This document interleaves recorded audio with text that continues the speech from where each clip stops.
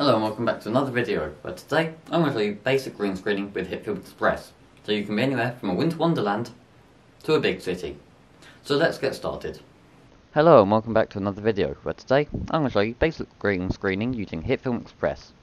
First thing we're going to do is we're going to drag it in our footage to HitFilm Express. And the first thing out of our boxes here we want to drag in is our background footage and then our video onto the layer above it. So you should see that we are the main footage. If you have to, you can then right click on it and you can go to transform fit to frame if your footage is a bit too big.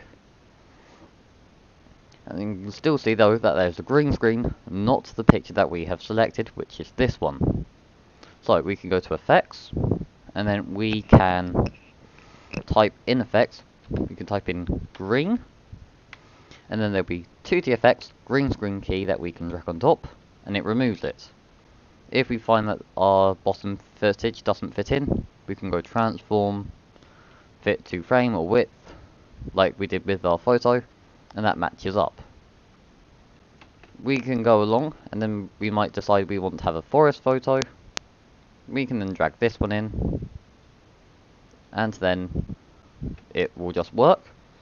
But if you have a blue screen, that last step, that one wouldn't have worked for you. So, what we're going to do is, you can go to effects, you can type in blue, and then you can drag in blue screen key, and then it will remove the blue. As you can see, I've got a blue shirt, so that works quite well as an example and then you can select the color from red, green, blue, depending on what you want it to do. And so that is basic green screen, blue keying, uh, green screen, blue screen, and red screening. Most people would be using a green screen here because green is the opposite hue of the human skin, so it will work quite nicely and also not many people wear neon green clothes.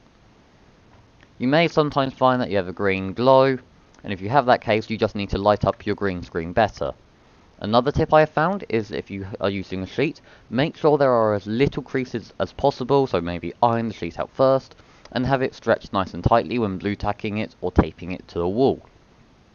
Once you're done with it, you can then just press export, and then you can press export now, contents, and then it will just export to wherever you've got it saved to.